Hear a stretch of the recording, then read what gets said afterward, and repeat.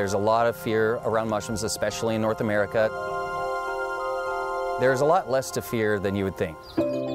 These are pretty common right now. They're a little cup called Ciboria rufofusca. So we're here on Whidbey Island on the south end. I run Whidbey Wild Mushroom Tours. You can't go into an alder forest and not find oysters. They're just everywhere. We all meet up at Tilth Farmers Market, and I'll have a table laid out with lots of specimens for you to check out, and they're all labeled, identified, whether they're edible and poisonous will be described. So I started these tours because it's something I've always wanted to do. I've had a lot of friends tell me that I've always taught them things, and they said, oh, you're really good at this. You know, you should do tours. And I'm like, yeah, maybe one day. Um, and then I almost died. I was hit by a car. Uh, my leg got ripped off. It was really bad.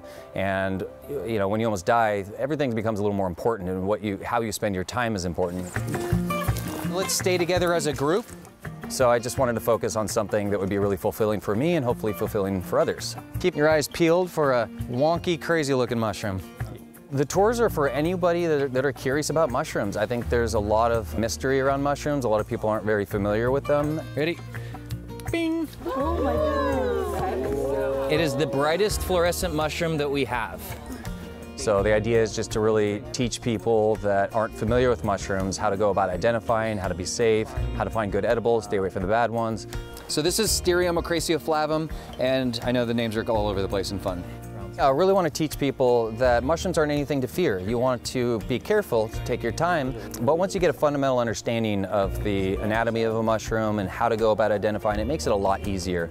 So these are the uh, false morels, the Gyromitra esculenta that I had on my table. There's like a few of them here. I like poop on a stick better. I think a lot of people also don't realize how much there is to learn about mushrooms, you know, how many different unique things there are about mushrooms. You know, there, there are some mushrooms that you can interact with, they respond to you.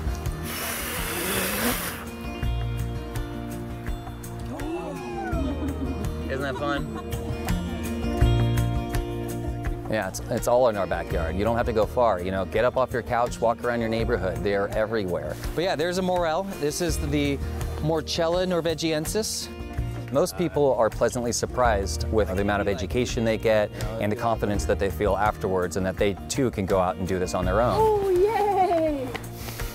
It's a little one, but that's a morel biggest reward for me is to watch somebody get excited about identifying an oyster mushroom and being able to take it home and cook it up that day. It's, it's rewarding, you know, it's more important to me than money.